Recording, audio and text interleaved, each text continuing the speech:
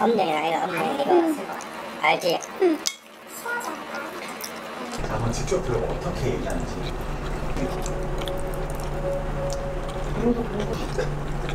음.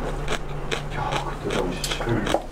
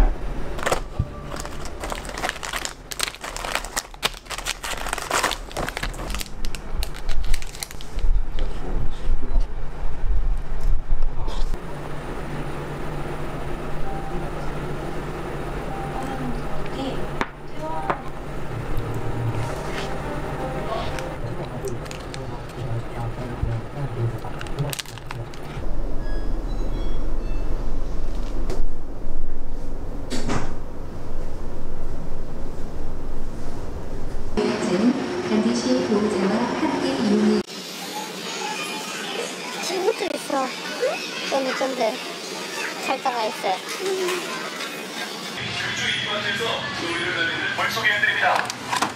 보기만 해도.